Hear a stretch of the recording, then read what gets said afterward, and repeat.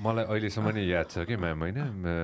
मैले एसएलसी दिँदाखेरि बत्ती आउँदैन थियो कि घरमा आउँदैन थियो मैनमतीमा पढेको याद छ कति कति दिन होइन? अनि पछि थाहा भयो कि त्यो किन त्यस्तो रहेछ भनेर के? बडो ठुलो लिकेज रहेछ नि त कतै न कतै होइन? म लिकेज भन्ने शब्द प्रयोग गर्छु है। कतै न कतैबाट चाहिँ होइन? थियो पुग्थ्यो अरे तर आउँदैन थियो। कोही कोहीको फाइदाको लागि होइन? अहिले कतिजनाले सुन्दै पनि हुनुहुन्छ होला होइन? मैले अँध्यारोमा अँध्यारोमा बस्नु पऱ्यो अहिले पनि पाँच प्रतिशत हजुरले नै आफै भर्खर भन्नुभयो नि त होइन? बाँकी छ। होइन? त्यो त आइम स्योर हजुरको एजेन्डामै छ होला। होइन? पाँच प्रतिशत अझ बाँकी छ होइन? जो जसले अब त्यतिखेर जो जसले बिगार गरे उनीहरूको त नेम लिस्ट त छ होला नि। छ आइम स्योर मैले यहीँ सोध्दै सोद्धाखेरि होइन? नाम लिस्ट त छ होला नि थाहा त छ होला नि होइन? यसो हेर्दाखेरि होइन? अहिले जसरी हजुरको सँगसँगै अब अफकोर्स म यसमा नाम जोडिहाल्छु खुलमान सरको होइन? जसरी हामीले हेर्छौँ जसरी अहिले आएर चाहिँ गएर अन गऱ्यो भने बत्ती आउँछ भन्ने जुन ढुक्क छ नि त। मेरो मात्र होइन सबैलाई ढुक्क छ नि त होइन? कता न कतै त्यो कतै न कतै कि घुमिफिरिकन कतै न कतै हामी फेरि नेपाली पऱ्यो नि त होइन? किनकि गइहाल्ला कि। नआउला कि। भन्ने अझ डर आइएम स्योर कतै न कतै छ होला कि होइन? त्यो डर राख्नुपर्छ अब हामीले। पर्दैन तर हाम्रो एउटा समस्या छ त्यसलाई चाहिँ एकदम बुझिदिनु पर्ने हिजो चाहिँ जति बेला बत्ती आउँथ्यो त्यो पनि के थियो भन्दाखेरि मतलब बिजुली आउँदाखेरि हामीले केवल सिएफएल बल्बलाई मात्रै आउँथ्यो। तपाईँ अरू चलाउन सक्नुहुन्थेन। त्यसपछि ब्रेक पाँच मिनट? होइन होइन अनि जसले धेरै बत्ती बाल्यो उसले धेरै पैसा तिर्नुपर्ने। भनेको नबाल्नको निम्ति परे ऊ थियो नि त एकदम प्रेरित। हो त्यो गर्दाखेरिको हाम्रो यो पावर डिस्ट्रिब्युसनको संरचना चाहिँ विक छ। ओके। सिएफएललाई आएको अहिले तपाईँ इन्डक्सन पनि चलाउनुहोस् तपाईँ भेहिकल पनि इभी चलाउनुहोस् अनि सबै ऊर्जामा गर्नुहोस् भन्दाखेरि चाहिँ अलिअलि संरचना अझै भर पर्दै छैन। अहिले हामी एकदम अरबौँ खर्च गरेर ऊ गर्दैछौँ अपग्रेड गर्दैछौँ। ट्रान्सफर्मर हुन्छ जम्मा पच्चिसको दिन्थ्यो अरू चाहिँ किन्नुपर्ने कसले किन्ने अब त्यो एउटा इन्डिभिजुअलले कति लाख पर्ने? अनि विद्युतले सप्लाई गरेपछि गर्नुपर्छ? मैले गएपछि सय केबीसम्म मैले फेरि गरेँ अहिले। सयकोसम्मको पाइन्छ। क्षमता वृद्धि गर्छ तिनी। थ्री फेज जोड्नुहोस् अनि जान्न। कतिपय चाहिँ एकदम वायरिङ कमजोर छ त्यसलाई अलिकति चेन्ज गर्नुहोस्। तर अब त कसैले रोक्दैन। तर हाम्रो त्यो विद्युत उत्पादन चाहिँ त्यो आरओआर भएको भएर हिउँदमा थोरै प्रतिशत मात्रै आउने जम्मा तेत्तिस पर्सेन्ट पैँतिस पर्सेन्ट आउँछ। अनि त्यो कम भएको बेलाको चाहिँ हामी अहिले र आउने वर्ष दुई वर्ष जतिलाई चाहिँ हामी आयात गर्नुपर्छ त्यसपछि त्यही त्यसैको नि पर्दैन। तर फेरि हाम्रो कन्जम्सन क्षमता त बढ्दै गएको छ फेरि सबैको। तपाईँ हामीले घरमा तिर्ने बिजुली पनि हिजो बत्तीको माथि तिर्थ्यौँ अहिले त धेरै तिर्छौँ नि हामीले एसी राखेछौँ फ्रिज छ वासिङ मेसिन छ ओभन छ इन्डक्सन छ पानी त तान्ने मोटर होला। यस्तो गर्दाखेरि हामी धेरै तिर्छौँ। त्यसो भएर खपत पनि फेरि बढ्दैछ। त्यही भएर एउटा बेला कस्तो हुन्छ अहिले हामीले बढी भएर बिक्री गर्ने हो। तर हाम्रो आर्थिक सामाजिक स्थिति बढ्दै हामी प पर क्यापिटल चौध सय चाहिँ युनिट गर्न थाल्छौँ नि। हामीले नेपाललाई नै त्यसै त्यही ढङ्गको उद्योगहरू कल कारखानाहरू अहिले पर्यटन एकदम क्षति भयो कोभिडले तर फेरि पर्यटन पुनर्स्थापित भएर आउँदाखेरिको अनि कृषि सिँचाइ सबैतिर जब हामीले अलिक उन्नति र प्रगति गर्दै जान्छौँ नि हामीलाई नै एक लाख मेगावाट चाहिने बेला आउँछ फेरि। त्यो पनि छ एउटा सुखद भविष्य बिक्री भएन भने। अहिले चाहिँ हामी इन्डियासम्म गऱ्यौँ बङ्गलादेशले पनि लैजाने गरेर गएको छ। अब ट्रान्समिसनको समस्या उहाँहरूले पनि इन्डियासित कुरा गरेर हामीले पनि गर्छौँ। यो कुरा मिल्ला? मिल्ला किनकि डिपेन्डेन्सी एउटाको अर्कोसित कुनै न कुनै ढङ्गले छ। मिल्ला जस्तो लाग्छ। अनि उहाँहरू इन्भेस्टमेन्टमा पनि जोइन्ट इन्भेस्टमेन्ट गर्ने भनेर पछिल्लोचोटि सचिवको बैठक थियो। तर नै डेढ दुई महिना अगाडि त्यो पनि भएको छ। अब त्यो क्रमशः अगाडि बढ्ला। हजुरले नै भन्नुभएको थियो जस्तो लाग्छ मलाई होइन? इफ आइएम नट मिस्टेकन बिस युनिटसम्म हामी दिन्छौँ भनेर होइन? एक हिसाबले जसलाई अप्ठ्यारो सिचुएसन छ अथवा अप्ठ्यारो सिचुएसन नभए पनि यति युनिटसम्म चाहिँ हामी होइन? हामी दिन्छौँ भने यो कहाँ पुग्यो यो कुरा के हुँदैछ त्यो चाहिँ म गएको मैले अट्ठाइस दिनमा गरेको थिएँ। किनकि म खुब परिवर्तन मैले जनताको निम्ति जनताको निम्ति भनेर गएको थिएँ। तर जनता सन्तुष्ट छैनन्। पोलिटिकल लिडरसिपप्रति पनि आलोचक छन् ब्युरोक्रेसीप्रति पनि आलोचक छन् उद्योग व्यवसायप्रति पनि आलोचक छन्। यसको समाधान त दिनुपर्छ किनकि उनीहरूको जीवनमा चेन्ज नआएस् त त्यो त राइट छ नि भन्ने। अनि मैले त्यही गरेको थिएँ हामी कतिसम्म फ्री दिन सक्दो रहेछौँ? मैले उपभोग अहिले हामी कहाँ करिब करिब बाहन्न लाख घरधुरीमा विद्युत कनेक्सन छ। अनि त्यसको हेरेको चाहिँ चौबिस लाख जतिले चाहिँ जम्मा बिस युनिट बाल्नुहुँदो रहेछ। अनि हाम्रो अठार प्रतिशतभन्दा अझ अहिले कोभिड अलिक बढेकोलाई गरिबीको रेखा पनि छ।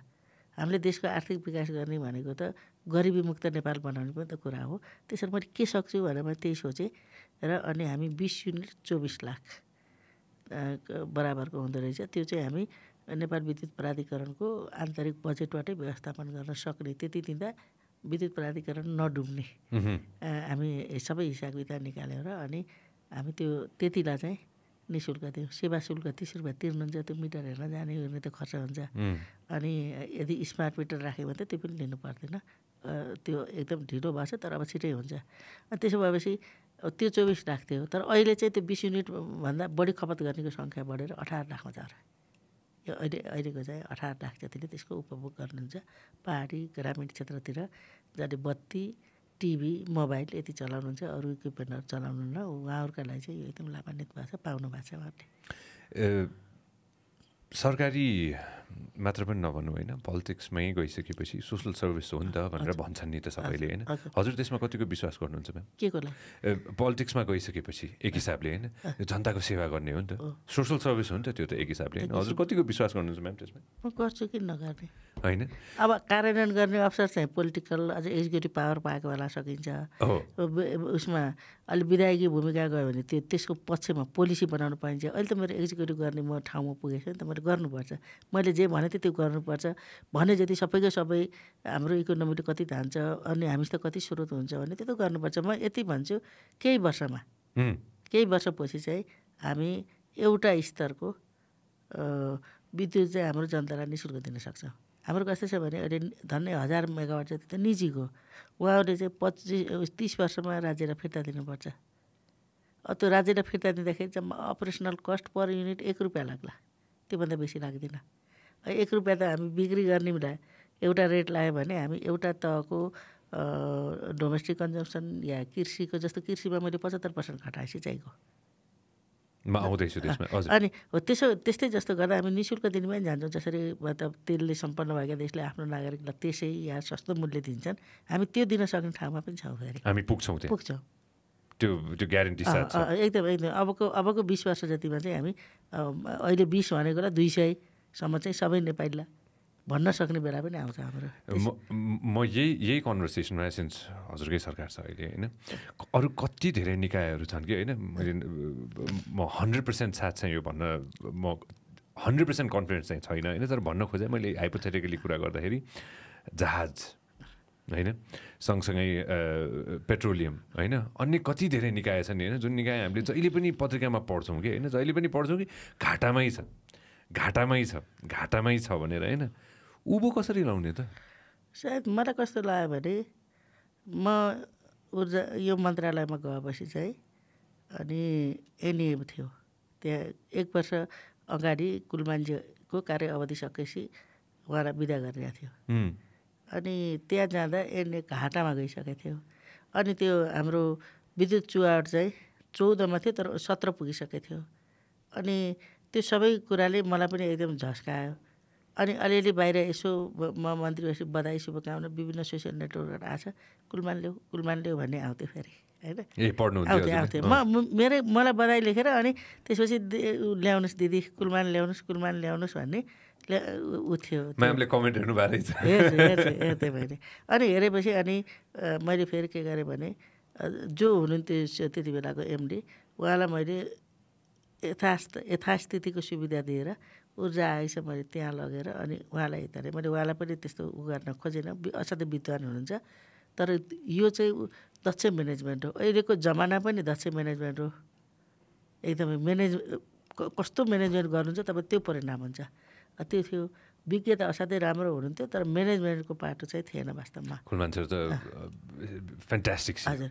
त्यसपछि मैले के गरेँ भने उहाँलाई मैले उहाँले झन् चार लाख कति हुन्छ कि एमटीको तर त्यही तलब दिने गरेर तर मैले आयोगमा अनि अरू कैयौँ रिसर्च काम हुन्छ म त्यहाँ लगेँ उहाँ आउनु भएन म दार्जिलिङ जानुभयो।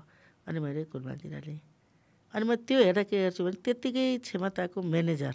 इन्जिनियर त जति पनि छन् उहाँभन्दा एकदम धेरै पढेका दक्षहरू पनि छन् होइन? एकदमै एक्सपर्टहरू। तर त्यो उहाँहरू म्यानेजमेन्ट हुन्न फेरि। त्यसरी उहाँ चाहिँ एकातिर इन्जिनियर अर्कोतिर असाध्यै राम्रो म्यानेजमेन्ट छ उहाँको। अनि मैले त्यही बेला सबभन्दा पहिले सोचेको थिएँ मैले यो हाम्रो उसको एयरलाइन्स। ए यत्तिकै एउटा चाहिँ हामीले त्यहाँ सियो लैजान सक्यौँ। भने त हामी त यो हाम्रै आफ्नै हवाई जहाज सबै देशमा पुऱ्याउन सक्छौँ। अनि अहिले जसरी निजीहरू चलिरहेछ अनि किन चल्दैन झन्? अनि त्यो त्यो चाहिँ लाग्थ्यो त्यस्तै पेट्रोलियमको पेट्रोलियमको एउटा चाहिँ यो अन्तर्राष्ट्रिय बजारमा भर पर्ने छ त्यसले पनि हो। तर फेरि कति कुरा चाहिँ म्यानेजमेन्ट पनि होला भन्ने लाग्छ।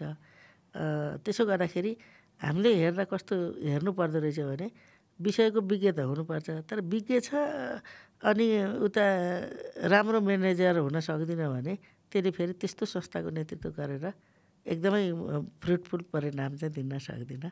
त्यो चाहिँ मलाई अहिले चाहिँ बडा आफूलाई सन्तुष्ट खुसी लाग्छ। If you love water डुङ्गर